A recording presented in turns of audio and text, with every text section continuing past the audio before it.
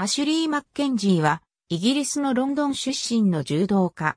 階級は 60kg 級。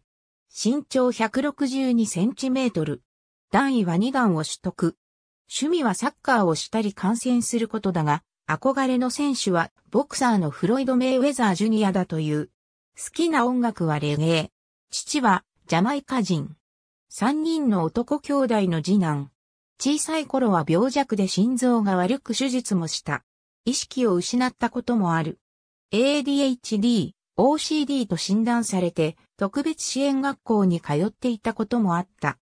11歳の時には攻撃的な性格であるとして学校を追放されて強制施設にも入れられた。またその頃、最も大切にしていたポケモンカードをある男児に奪われて取り戻そうとしたところ何度も大外刈りで投げられた。インターネットで調べた結果、相手が柔道の技を使っていたことを知ると、地元の柔道クラブを訪ねてみた。するとそこにはカードを奪った男児がいた。話をしているうちに友達となり、カードを返してもらった。さらに、それがきっかけで、柔道も始めることになった。2005年にはヨーロッパ化で選手権 50kg 級で3位になると、2007年にはヨーロッパジュニア 60kg 級でも3位となった。2009年には世界選手権に出場するが、初戦でウクライナのゲオルグリー・ザンタラヤに敗れた。2010年の世界選手権では3回戦でハンガリーの選手に敗れた。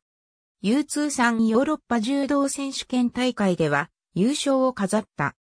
2011年にはワールドカップワルシャーとワールドカップリバプールで優勝を飾るが、世界選手権では3回戦で山本博士に指導2で敗れた。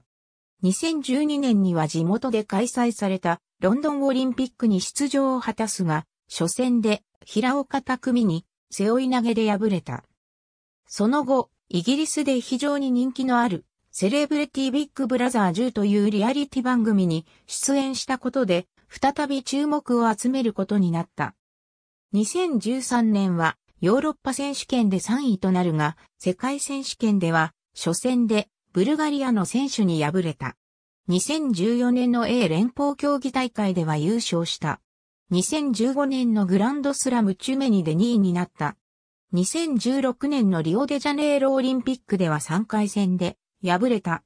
その後に 57kg 級で活躍するフランスのオトーネ・パビアと結婚すると、2017年には女児を設けた。